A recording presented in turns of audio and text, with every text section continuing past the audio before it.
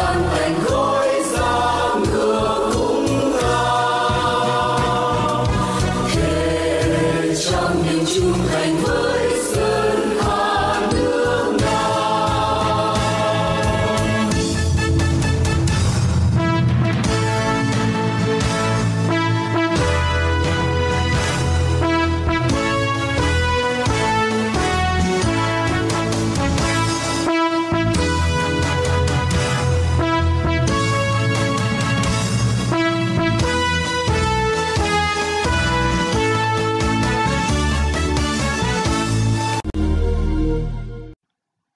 Kính chào quý thính giả, chúng tôi là Đỗ Hiếu, người giới thiệu chương trình Trang sử Việt Nam Quốc dân đảng, lịch sử đấu tranh cận đại 1927-1954, Việt Nam Quốc dân đảng do Việt dân Hoàng Văn Đạo biên khảo.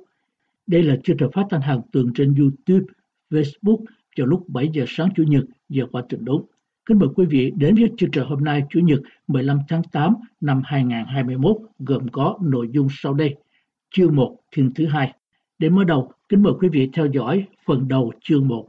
Hoạt động cách mạng lưu vong, Việt Nam Quốc dân đảng, Vân Nam đệ nhất đạo bộ. Qua dòng đọc của Đỗ Hiếu sau đây. Hoạt động cách mạng lưu vong, Việt Nam Quốc dân đảng, Vân Nam đệ nhất đạo bộ.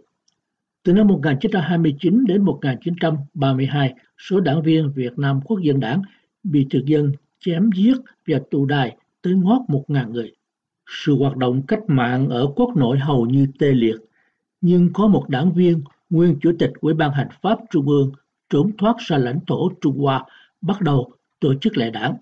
Hoạt động cách mạng lưu vong ấy là Nguyễn Thế Nghiệp. Nguyễn Thế Nghiệp bị mật thám bắt giam từ ngày 17 tháng 2 1929, giao lại Hội đồng Đề hình xét xử.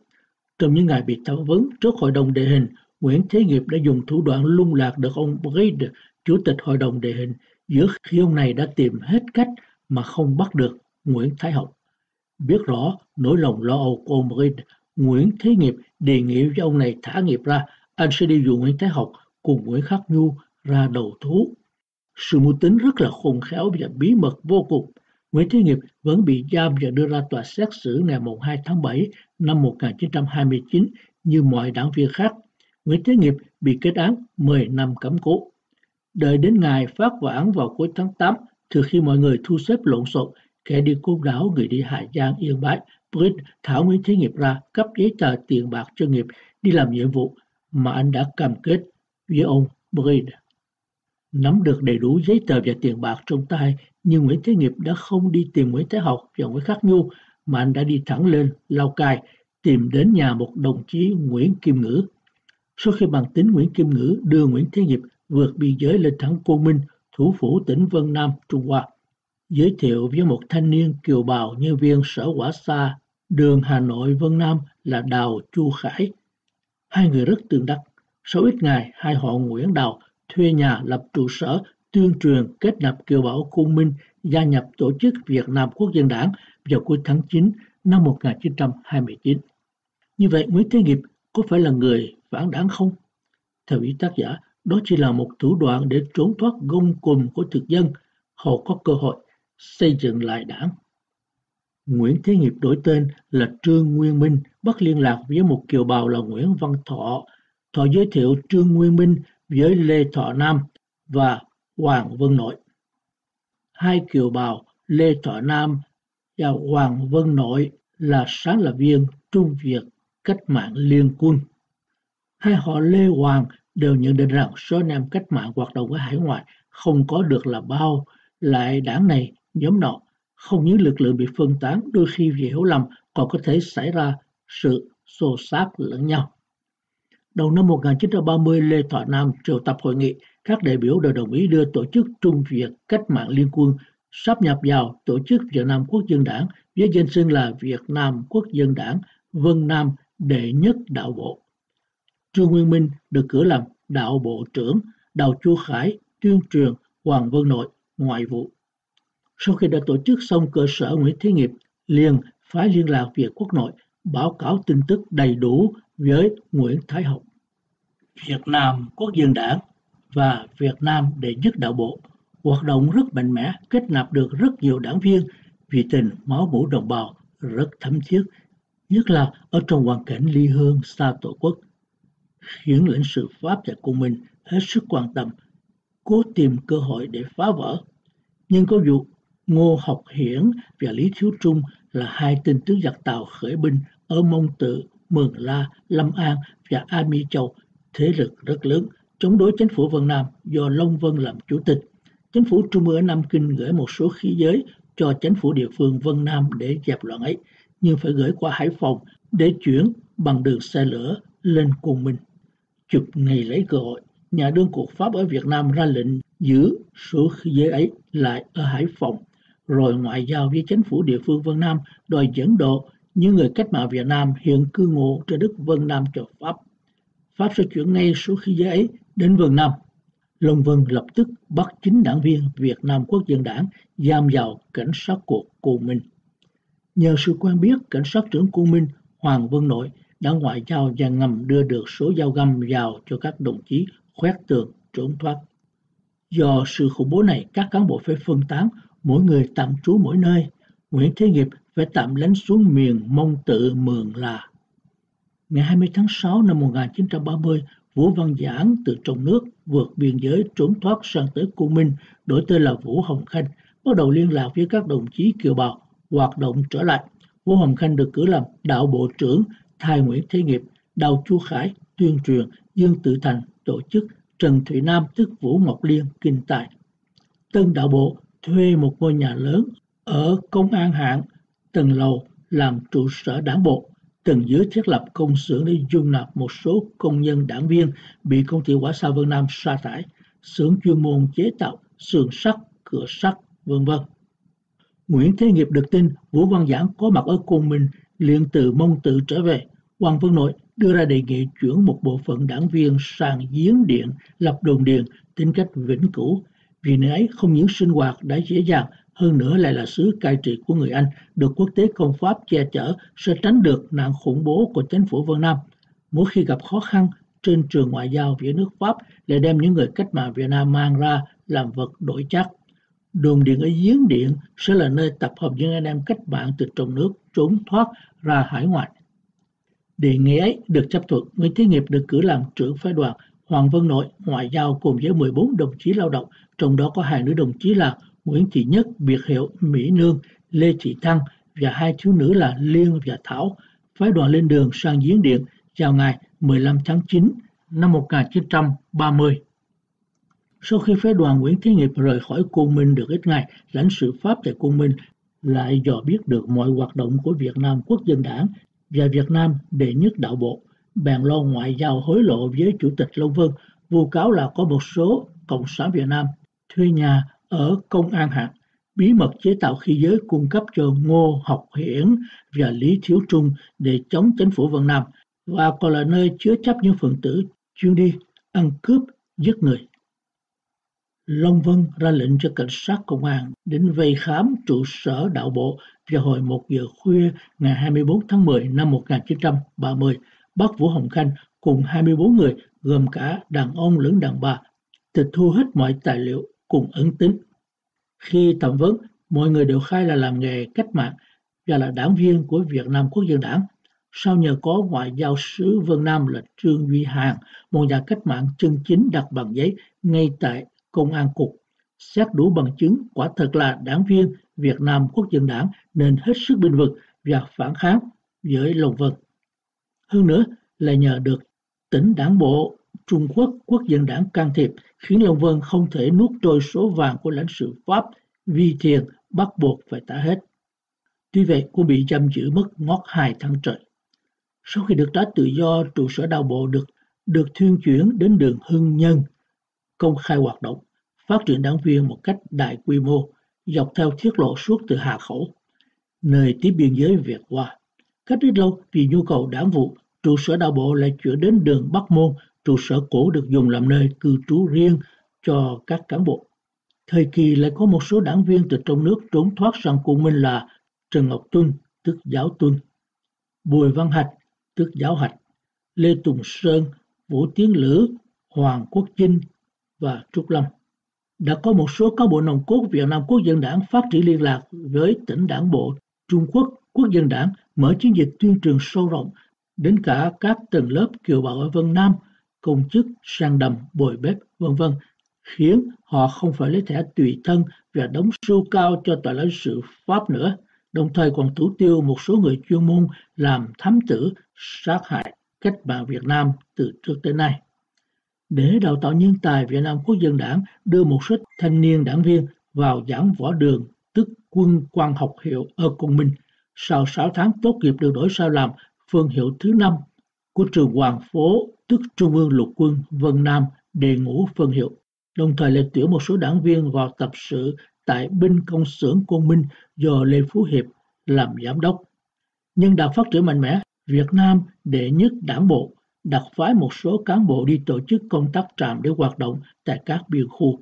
Mường La, Đồng Trạm hoạt động vào phong thổ Lai Châu, Lữ Tống Hà hoạt động vào Mường Hung, Giang Thành, Mường Lê hoạt động vào phong Sali, Bảo Sơn, Nam Hua là một trạm liên lạc quan trọng giữa Mường La với đạo bộ Cung Minh và Hà Khẩu. Các trạm này tồn tại cho mãi đến sau ngày kháng Pháp ở Đồng Thổ hồi năm 1947-1948. Tiếp nối chương trình, kính mời quý vị theo dõi phần cuối chương thứ nhất, thiền thứ hai, mối thù truyền kiếp Việt Nam Quốc dân đảng. Vân Nam đệ nhất đạo bộ lại bị thực dân mưu hại qua giọng đọc của Đào Trường Phúc.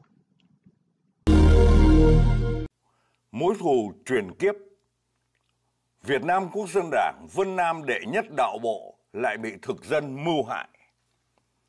Ngày 2 tháng 11 năm 1930, phái đoàn Nguyễn Thế Nghiệp đặt chân lên đất Diễn Điện nhưng không đạt được theo dự định.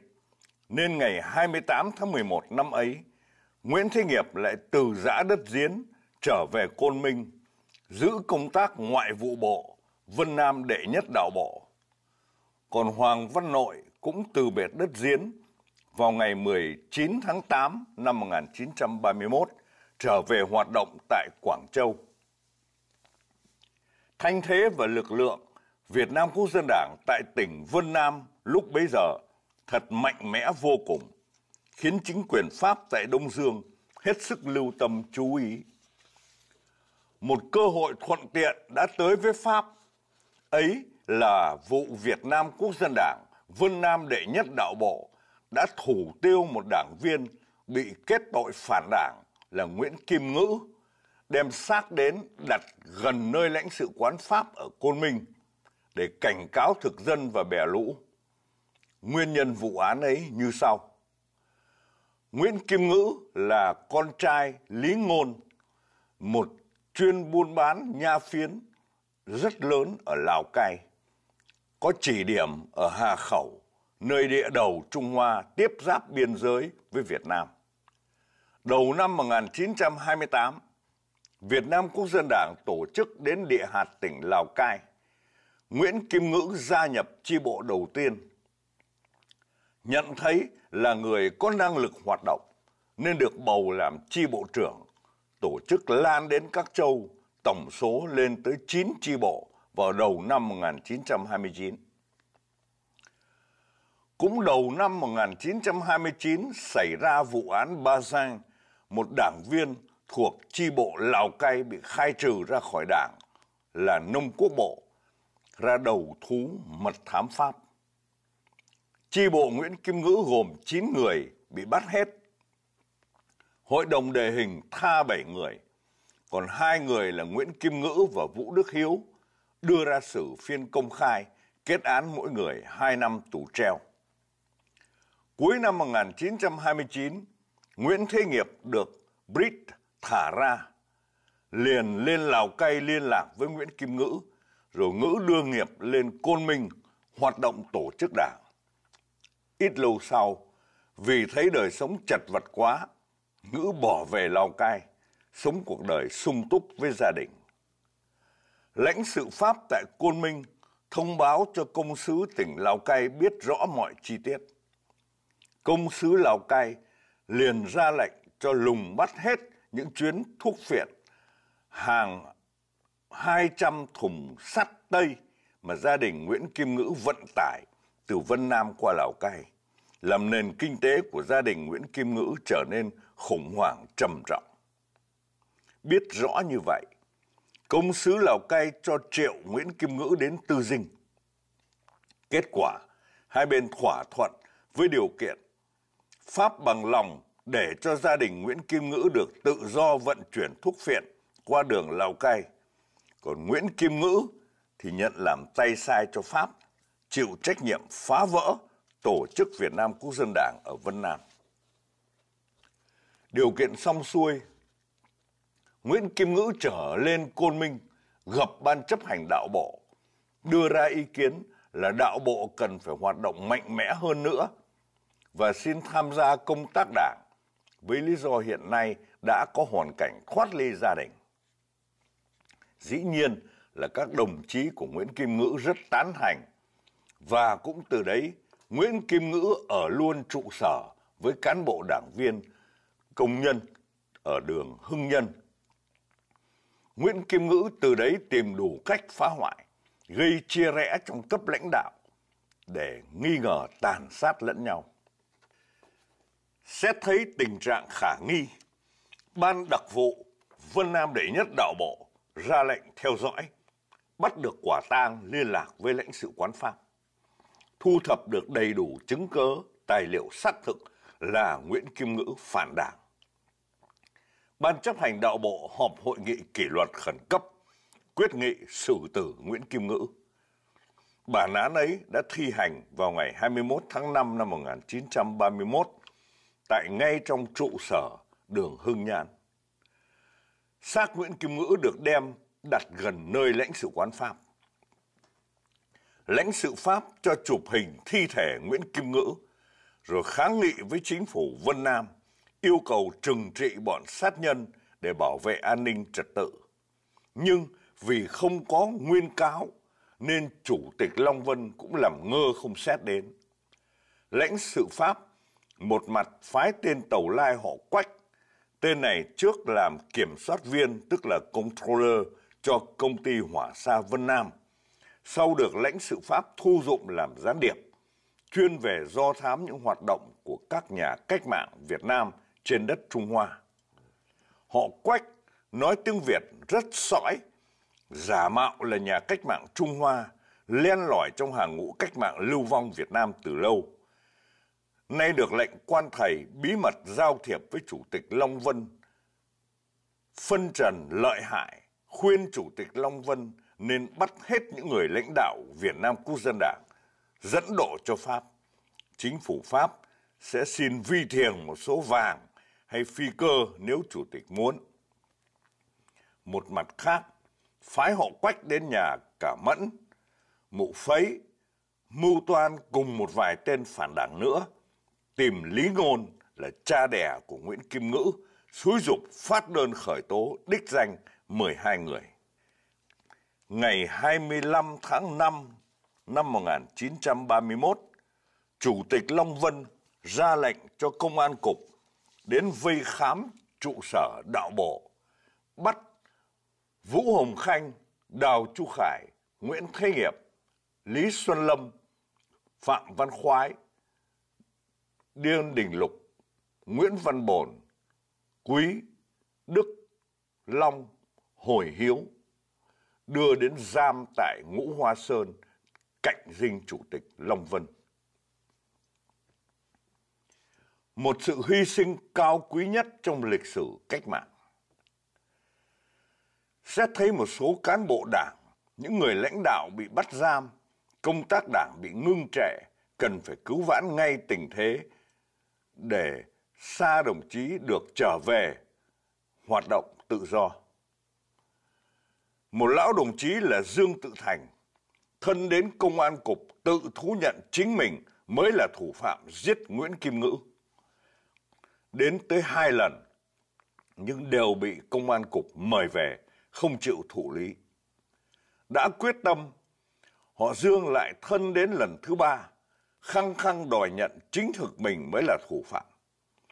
Lần này công an cục mới chịu lấy lời cung khai và ra lệnh giam họ Dương vào cùng với 12 đồng chí của ông thành con số 13. Lãnh sự Pháp giao thiệp yêu cầu Chủ tịch Long Vân nếu không thể dẫn độ được xin xử tử Vũ Hồng Khanh và Nguyễn Thế Nghiệp chiếu theo hình luật Trung Hoa sát nhân giả tử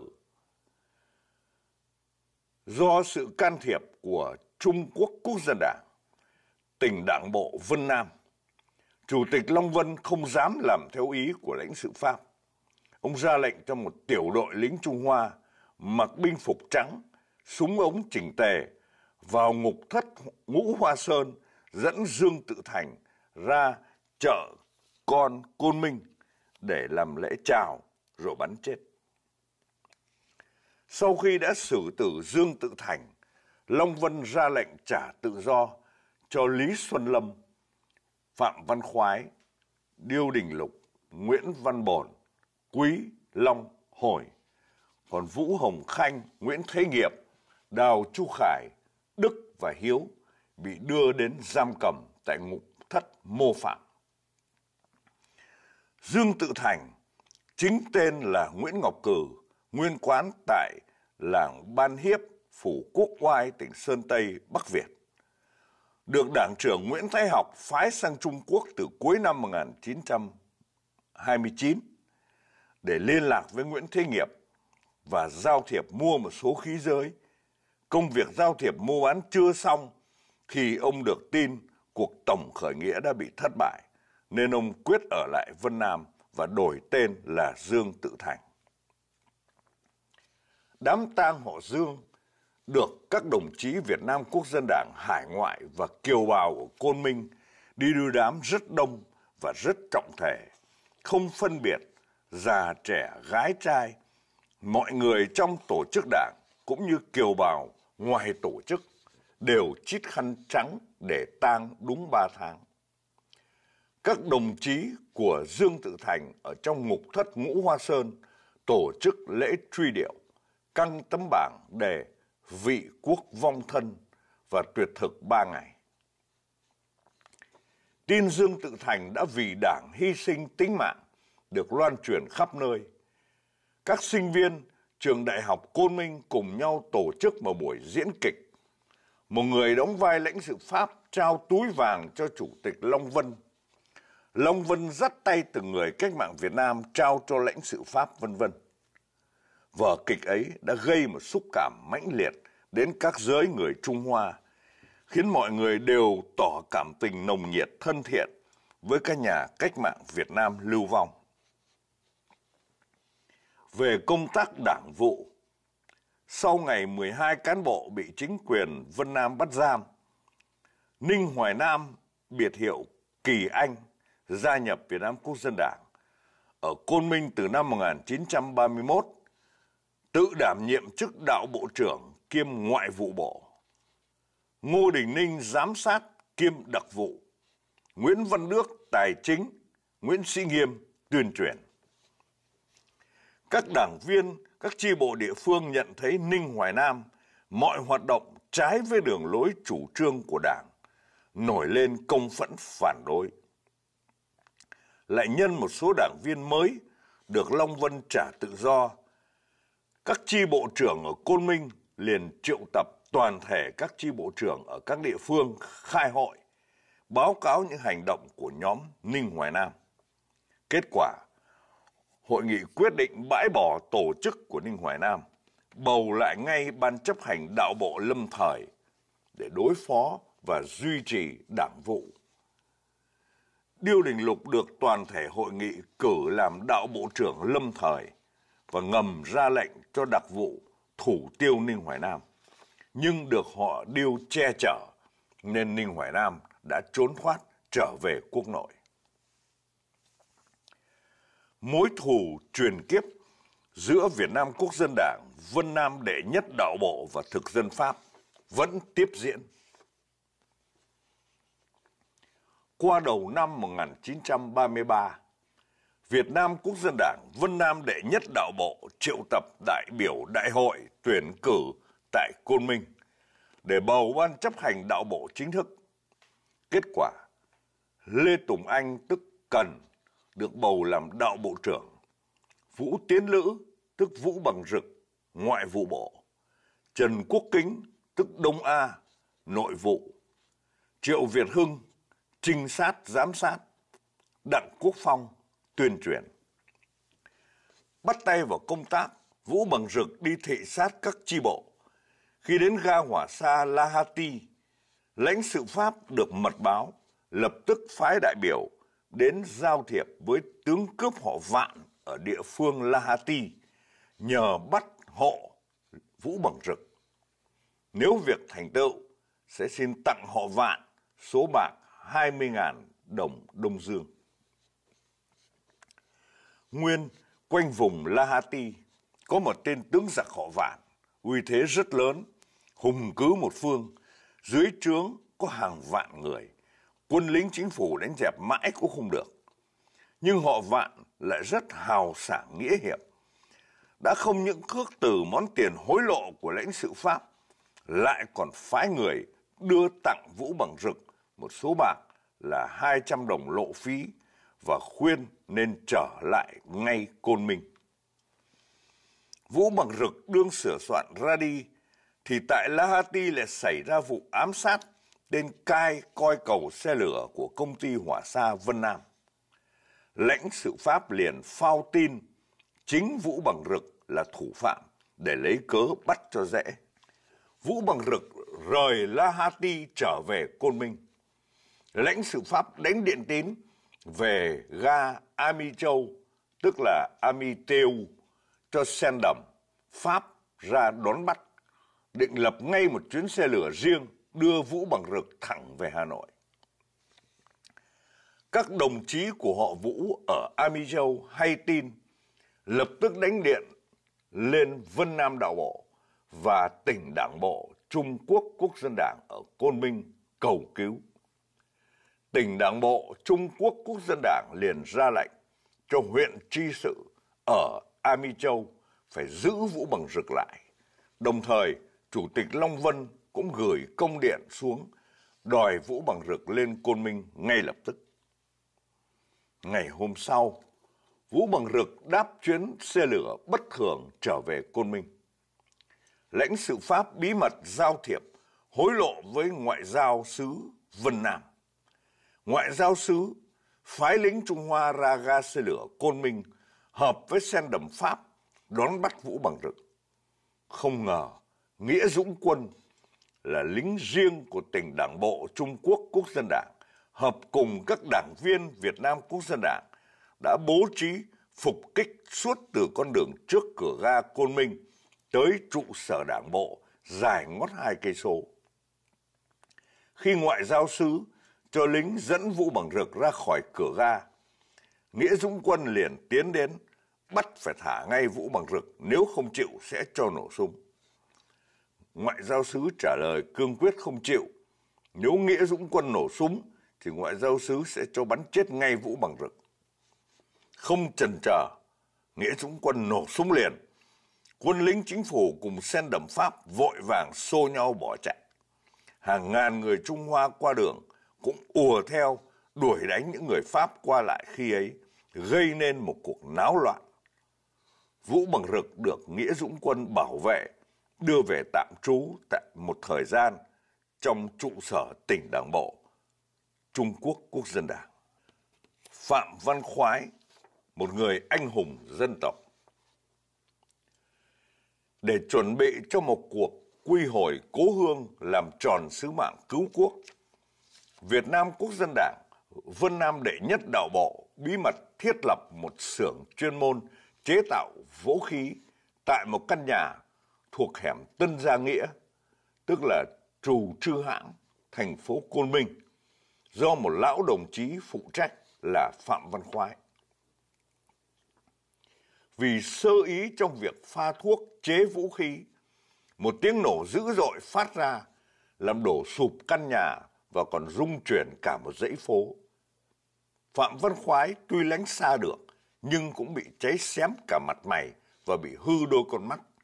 Các đồng chí của ông vội vực đưa ông vào điều trị tại quân y viện. Lãnh sự Pháp được mật báo, bèn giao thiệp hối lộ công an cuộc Côn Minh, rồi thừa đêm khuya thanh vắng.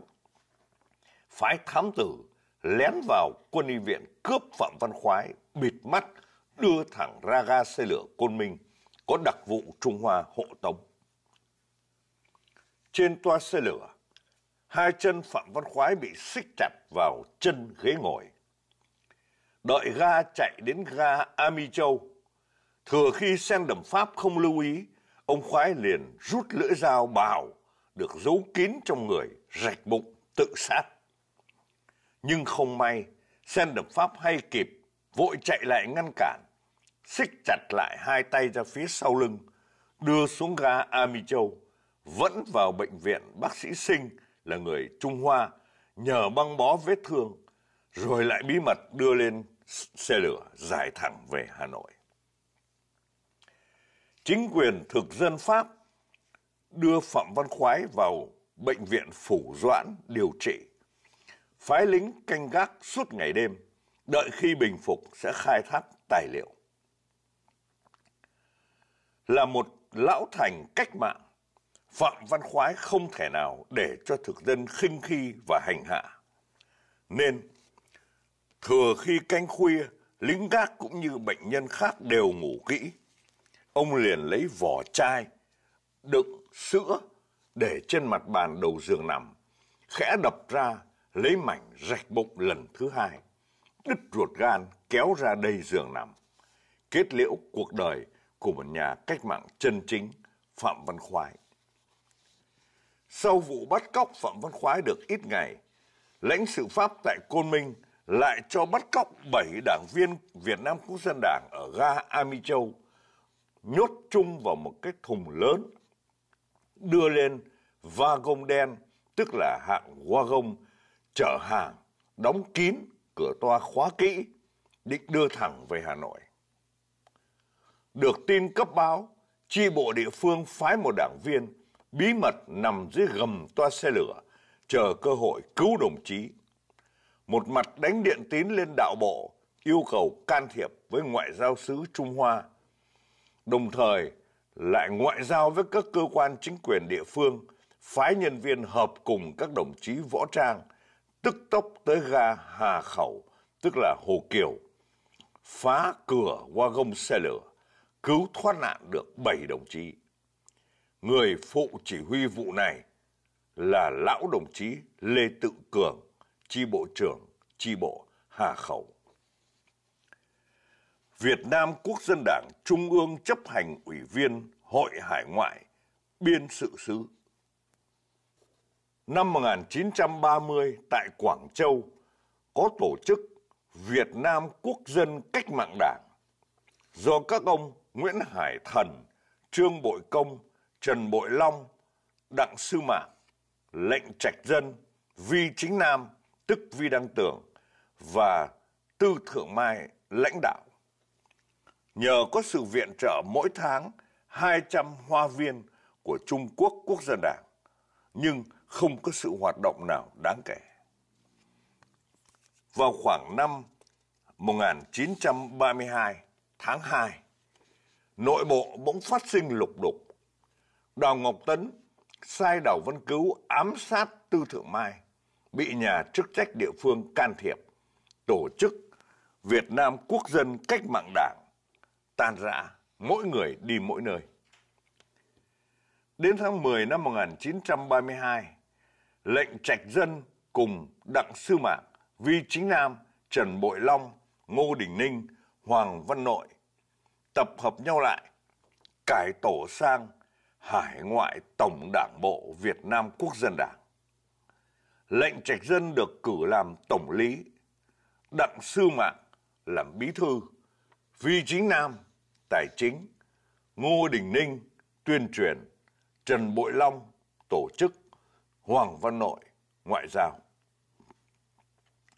Đặng Sư Mạng chính tên là Đặng Hữu Bằng, tục gọi ấm bằng, sau đổi tên là Đặng Quang Hồng, là con cụ Đặng Hữu Dương, nguyên án sát Hà Nội, và gọi Đặng Tử Mẫn bằng chú ruột, nguyên quán tại làng Hành Thiện, tỉnh Nam Định. Đặng Sư Mạc xuất dương hồi 1906, tổng học tại trường Trấn Võ Nhật Bản, đậu đầu kỳ thi tốt nghiệp, được Thiên Hoàng đặc biệt chú ý xét hỏi lý lịch. Nhà vua rút chiếc đồng hồ đương đeo trong người ra tặng đặng sư mạng. Mặt sau đồng hồ có khắc chữ kỷ niệm của Thiên Hoàng. Pháp Nhật giao thiệp, có lệnh trục xuất khỏi đảo Phù Tang. Đặng sư mạng trở lại đất Trung Quốc. Mỗi khi túng thiếu, họ đặng phải đem vật kỷ niệm của thiên hoàng đi cầm cố. Người Nhật tranh nhau cầm bằng bất cứ giá nào. tỏ ý muốn được giữ mãi chiếc đồng hồ ấy. Nhưng họ đặng có bao giờ bỏ, mà người Nhật cũng không bao giờ chịu lấy tiền lãi của họ đặng. Đặng Sư Mạc gia nhập quân đội Trung Quốc, làm đến chức điều quân tham mưu trưởng. Văn đã hay, chữ viết lại cực tốt, nên được giới trí thức Trung Hoa rất kính mến. Nhân ngày đại hội, ban phụ trách tổ chức một đêm kịch giúp vui. Lợi dụng cơ hội ấy, lãnh sự Pháp đề kháng với nhà chức trách địa phương Trung Hoa, vu khống cho Việt Nam Quốc dân Đảng mưu tổ chức quân đội để chờ thời đánh lại Pháp. Sáng ngày hôm sau, nhà chức trách Trung Hoa hạ lệnh đình chỉ mọi hoạt động, thu ân tín và cho cấp lãnh đạo đảng bộ biết rằng họ chỉ bằng lòng giúp đỡ trong sự hoạt động bí mật. Nếu ra công khai như vậy sẽ có hại cho tình bang giao Pháp Hoa. Thế là đại cuộc bị ngăn trở, tổ chức bắt buộc phải giải tán. Sau cơn khủng hoảng tại Quảng Châu, sự hoạt động rất khó khăn vì lúc nào cũng có bọn Tây Sai đế quốc quấy phá xung quanh. Tháng 12 năm 1932, một hội nghị các đại đại biểu dân tộc Nhược Tiểu ở Á Đông do Á Châu Văn hóa Hiệp hội tổ chức tại Nam Kinh.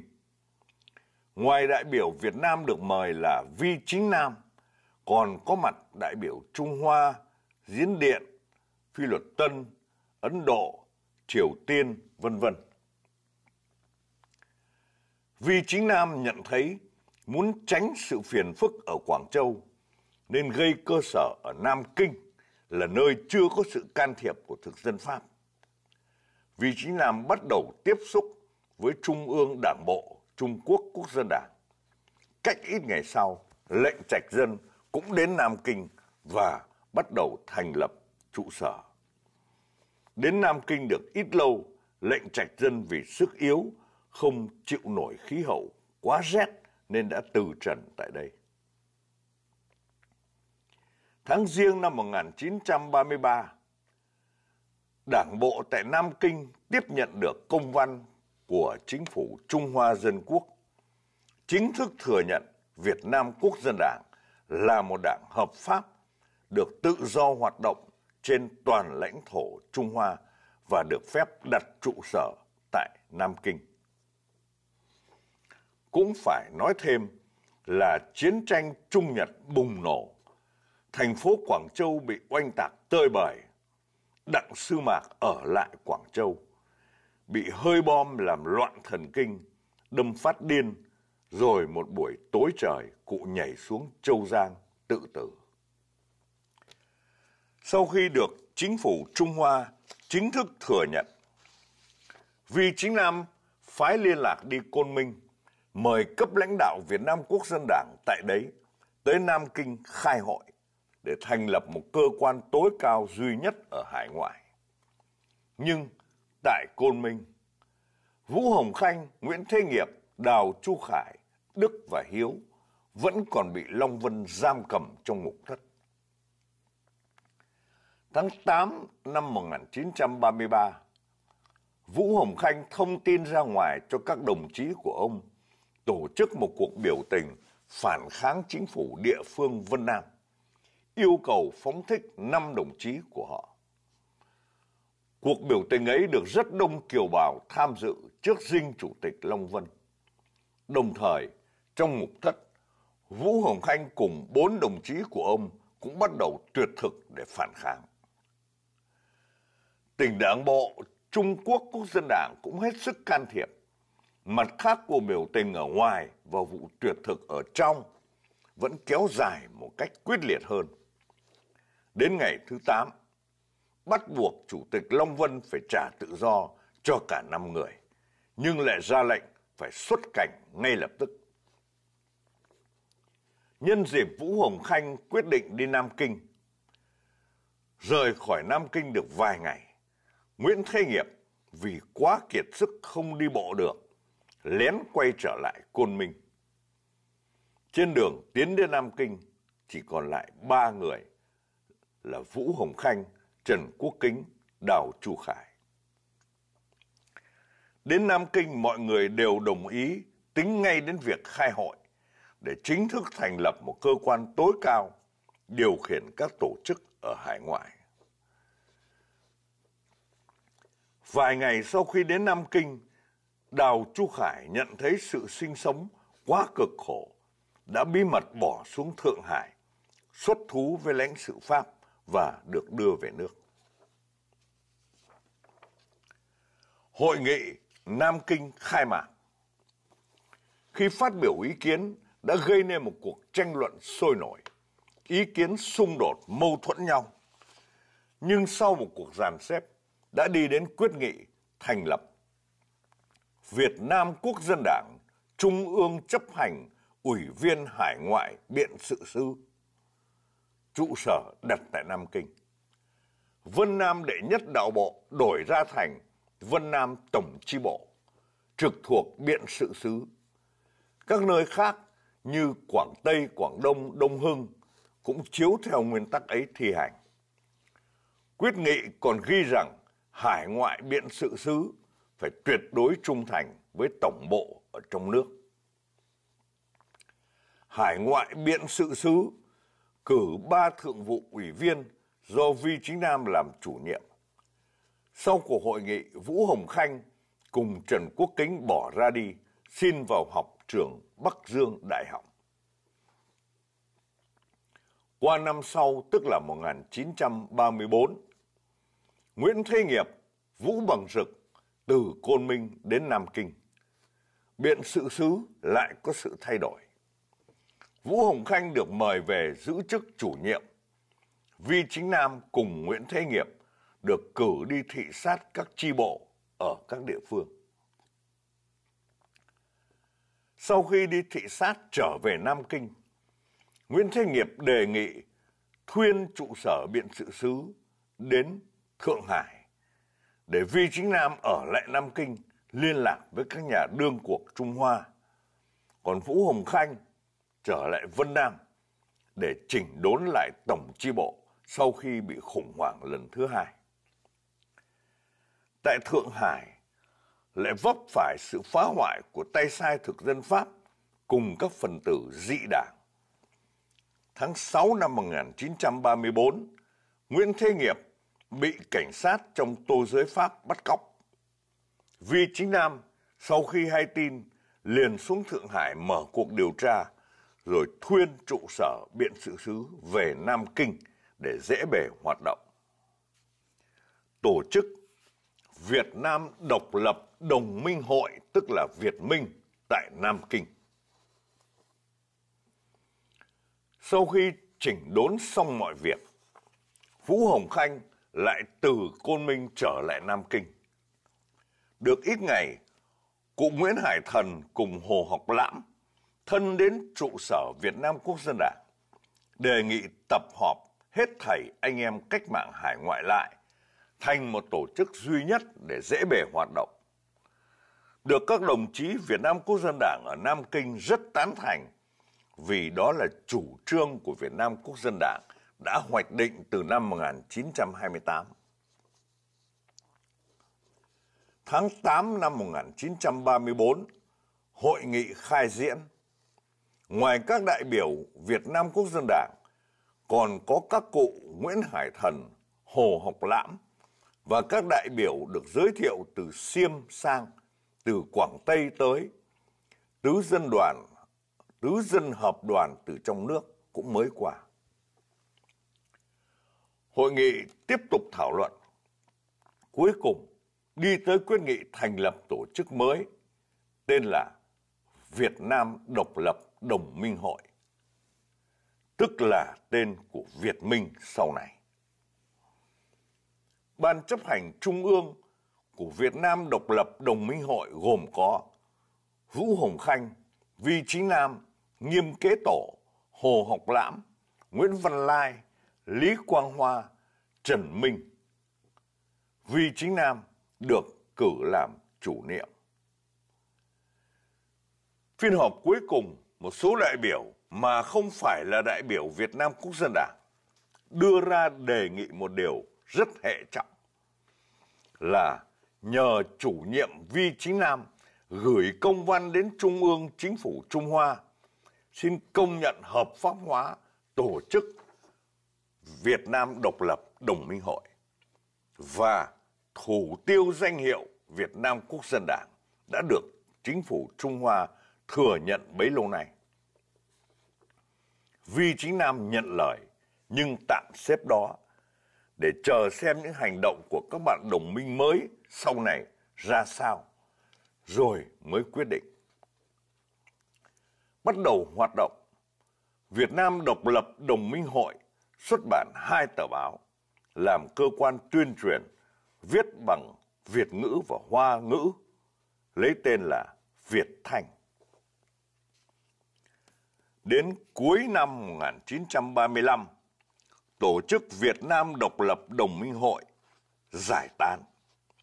Vì bên anh em Việt Nam Quốc dân Đảng xét thấy bạn đồng minh không thành thực, luôn luôn dùng thủ đoạn lợi dụng, tìm cách lấn quyền, muốn biến thành một tổ chức cộng sản đệ tam quốc tế. Việt Nam Quốc dân Đảng, Trung ương Đảng Bộ Hải ngoại, chấp hành ủy viên hội.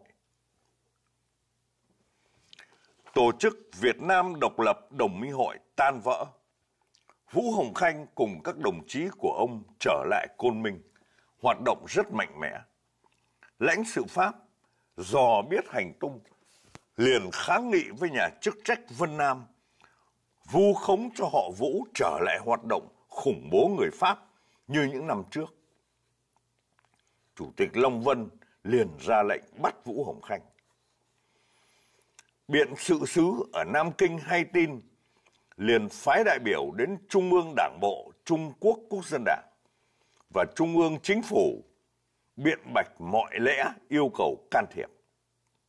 Đồng thời đánh điện tín và gửi công văn kháng nghị đến Chủ tịch Long Vân. Vũ Hồng Khanh được phóng thích nhưng lại bắt buộc phải rời ngay khỏi địa giới tỉnh Vân Nam. Vũ Hồng Khanh cùng một số cán bộ rời khỏi Vân Nam đến Quý Châu. Sau một thời gian quan sát tình hình, họ Vũ quyết định thuyên trụ sở Tổng chi bộ Vân Nam đến Quý Châu để dễ bề hoạt động. Mọi việc đương tiến hành thì thình lình họ Vũ lại bị nhà chức trách địa phương bắt giam tại huyện An Thịnh, vu cáo là gián điệp của Nhật Bản. Thừa cơ hội vắng người lãnh đạo ở Côn Minh, đồ đệ Cộng sản đệ tam quốc tế tổ chức giải phóng quân do Việt tử Trịnh Đông Hải tìm đủ mọi cách lũng đoạn tinh thần các đảng viên Việt Nam Quốc dân Đảng để thu hút vào tổ chức của họ. Người nào không theo, họ tố cáo với nhà chức trách Vân Nam là gián điệp của đế quốc Nhật Bản hoặc là những tên cộng sản khủng bố, vân vân. Các cán bộ Việt Nam Quốc dân Đảng ở Quý Châu hay tin, lập tức trở về Côn Minh mở cuộc điều tra. Một hội nghị đại biểu các chi bộ địa phương được triệu tập họp khẩn cấp bầu lại ban chấp hành tổng chi bộ Vân Nam. Kết quả, Lý Tự Cường, Lê Tự Cường một lão đồng chí ở chi bộ Hà Khẩu được bầu làm tổng chi bộ trưởng. Các cán bộ được phái đi thị sát và giải thích cho các chi bộ địa phương đập tan âm mưu phản gián, phá hoại của bè lũ cộng sản đệ tam quốc tế tự mệnh danh là giải phóng quân. Tại Nam Kinh, biện sự sứ hay tin Vũ Hồng Khanh lại bị bắt giam liền phái nghiêm kế tổ đến Quý Châu, tiếp xúc với chủ nhiệm tỉnh đảng bộ Trung Quốc Quốc dân đảng, yêu cầu can thiệp, tức thời họ Vũ được trả tự do. Sau một thời gian lưu lại ở Quý Châu, Vũ Hồng Khanh cùng anh em trở lại Côn Minh.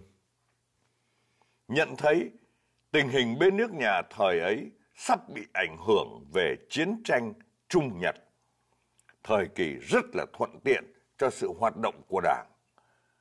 Vũ Hồng Khanh cùng các đồng chí của ông trù liệu đặt trụ sở trung ương ngay tại Côn Minh cho dễ bề hoạt động. Đổi danh hiệu lại là Việt Nam Quốc dân Đảng Trung ương Đảng Bộ Hải ngoại chấp hành ủy viên hội. Do Vũ Hồng Khanh, Chu Bá Phượng, Lê Khang, Vũ Quang Phẩm và Nghiêm Kế Tổ trực tiếp điều khiển. Sau khi chỉnh đốn xong mọi việc, Chu Bá Phượng được đặc phái về hoạt động ở trong nước. Nghiêm Kế Tổ được phái đi Trùng Khánh, hoạt động ngoại giao với Trung ương Chính phủ Trung Hoa Dân Quốc và Trung ương Đảng Bộ Trung Quốc Quốc dân Đảng. Đến Trùng Khánh, họ nghiêm mới hay tin Vi Chính Nam mới qua đời tại huyện Bích Sơn, cách Trùng Khánh 60 cây số. Bởi vì họ Vi nể lời người bạn Trung Hoa mời nhận chức doanh trưởng quân đội trong chính phủ Trung Hoa đã dùng sức quá nhiều lại vì tuổi già, thủy thổ bất phục nên lâm bệnh mà mất. Vì có sự thay đổi danh hiệu đảng nên một lần nữa chính phủ Trung Hoa lại gửi công văn chính thức thừa nhận Việt Nam Quốc dân Đảng. Kính thưa quý vị thính giả, sau kỳ phát thanh hôm nay, ban biên tập chúng tôi đã hoàn tất gửi đến quý vị toàn bộ chương 1 thiên thứ hai. Kính chào tạm biệt và hẹn gặp lại quý vị thính giả kỳ tới với chương 2 và chương 3 thiên thứ hai, lịch sử đấu tranh cận đại 1927-1954 Việt Nam Quốc dân đảng do Việt dân Hoàng Văn Đào biên khảo. Đỗ Hiếu xin kính chào tạm biệt và cầu chúc quý thính giả cùng bổ quyến luôn may mắn và an lành.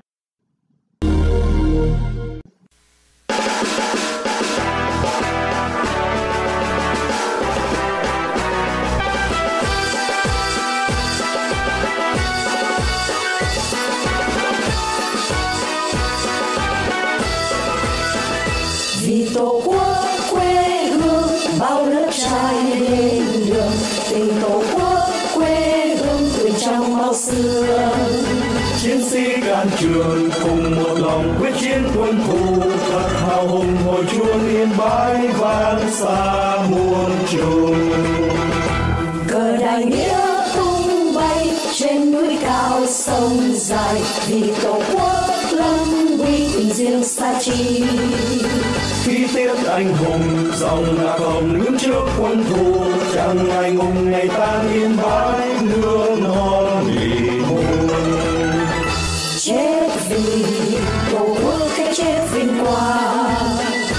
lòng ta sung sướng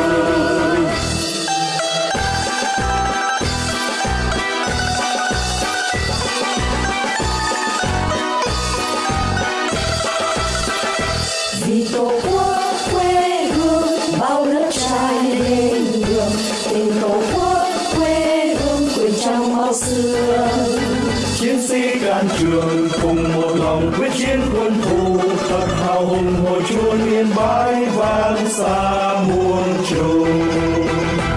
Cờ đại nghĩa tung bay trên núi cao sông dài vì tổ quốc lâm uy tình riêng xa chi. Khi tiết anh hùng dòng lạc hồng đứng trước quân thù chẳng ngày ngùng ngày tan yên bái